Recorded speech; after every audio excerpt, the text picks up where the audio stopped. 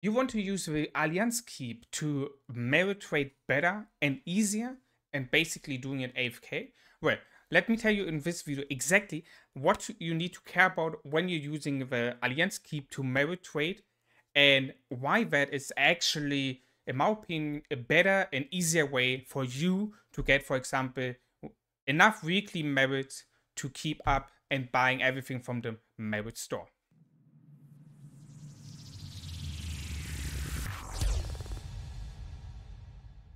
Hello everyone, welcome back to another video from me, Beast is my name. And today in that video, I want to explain to you exactly what you see there in the background. Merit trading with Alliance Keep. Well, some people have asked me about this and basically how you can use the Alliance Keep for you to not only in the war situation, but for example, also in the situation for merit trading. Since we all know that merit trading is really necessary to keep up, to get the elixir basically, and perform better in the upcoming wars you're gonna have, right? As you see, for example, this one cost me alone 7.2k merits, right? So we all need to merit trade in order to save these elixir. But there's also more stuff, right? Where we have also CP in the shop. We have also resources, keys, you know, all this stuff is really important. So merit trading can be actually kind of exhausting and frustrating if you like need to leave the lines um, and then out uh, attacking not automatically but actively. And where we're coming to the merit to keep trading right? The merit tree, uh, keep trading is basically a system where your alliance is putting down a keep where you can then then a march into and other people can basically just go into the range what you see there and go attack that keep that right? Because the keep gonna automatically attack any other march from any other alliance who is coming into that range. As you saw in the background i was fighting here with someone who is in hh where he have volunteered himself. Obviously he is not the same power as me. Um he's like six main down and that's also why the trade was not like this. But i can tell you if you have like kind of the same power the keep is a good way for you to get merit and that is basically passively what i did here right? I did nothing. I just just i was just sending my march into that keep and basically just sitting there. And that's basically the system. That's it technically. What you want to care now about to make it even is that you arrange the keeps what we did here. For example in hh we have like split these keeps into different power levels and also into mages and archers.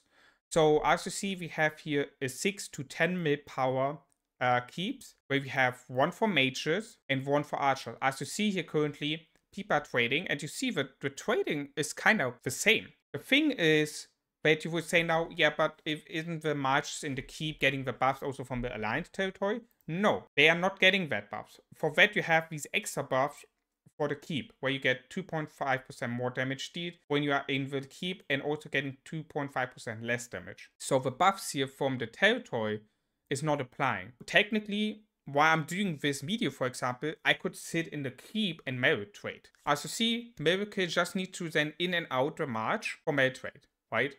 The others, you just sit there in the keep and you merit trade. Um, they don't do anything, you know. They they're just waiting until they their turn is. So if you like if you like having no time at all and you just want to merit trade, then you can sit in the keep. If you are like in the uh, a person who have some more time, um, but still doing something else at the same time, you can do what Milk is doing here right now, just sending in and out over time the the marches and attacking the keep and doing with that the merit trading. A good thing for the for the alliance members because they can really just like hit, for example, the weekly requirements. If your alliance have a weekly requirement of merit trading or merit gaining, they really can just send their marches in the alliance keep and don't feel that much pressure of oh I need to do actively now merit trading, looking for someone asking in the chat, ask on Discord or something. No, they don't need to ask anymore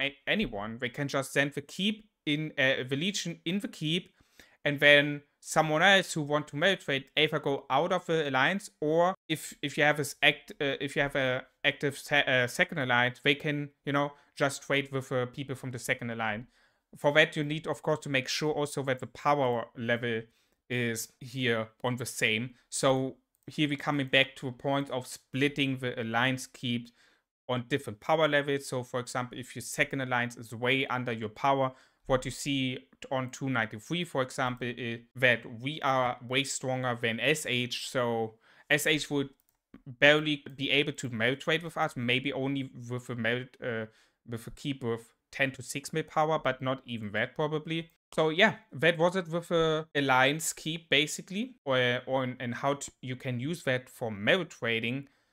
And I hope you have enjoyed the video. I hope it have helped you to understand the situation of Alliance Keep. If any one of you watching the video right now who's currently in Season 1 and your Alliance is not doing this, what we're doing here right now, then make sure to show them that video, send them the link, show them that video, that this is really important and reducing the stress from the Alliance members a lot if they need to hit the weekly requirement for mail trading.